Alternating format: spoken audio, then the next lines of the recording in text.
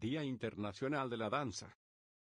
El próximo sábado 28 de abril, nos reuniremos para celebrar el Día Internacional de la Danza, al ritmo de las danzas urbanas, el folclore, los bailes del Medio Oriente y muchos más. El evento organizado por la Municipalidad de Puente Alto, a través de su corporación cultural, contará con la participación de distintas academias de danza de la comuna, dentro de las que se encuentran Danza Libre, Danza Jam, Joque de UE y Geodanza. Además, se presentará el elenco titular y el elenco Puente Altito de Bafopal y los talleres de danza árabe, K-pop, breakdance y danza Bollywood de nuestra corporación. Revisa el programa.